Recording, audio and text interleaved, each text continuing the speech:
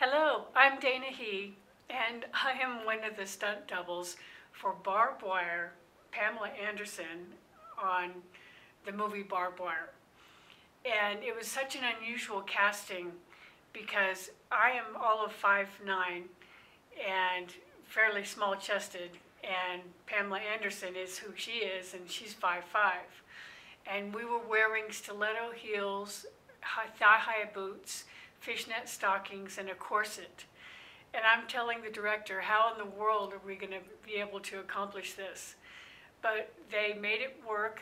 They took the corset and they shaded in some breasts so that from five feet away it looked like I was stacked. My mom thought I had gotten a boob job.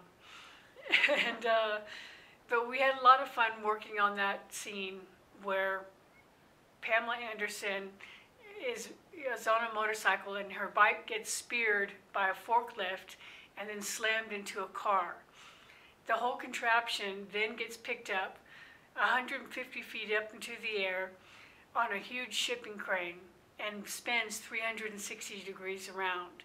Meanwhile, the stunt doubles, myself and my comrade, we get off this contraption and we start a big fight. And I get kicked in the chest and flip over backwards off of the car. And each time I made sure to grab the open window because we were on cables, but the cables could easily get caught on the thin metal parts of the contraption. And if you, if I were to hit the, with my full weight, uh, falling at that angle, it's possible that the cable would snap and I would end up on the ground 150 feet down. So believe me, I made sure and grabbed that open window.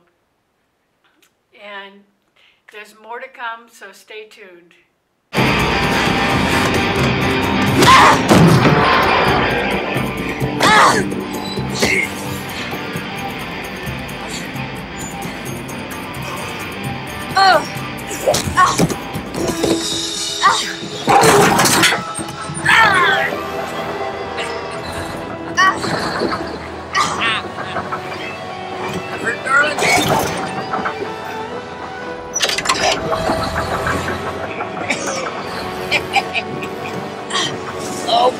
So close! Don't you feel the magic?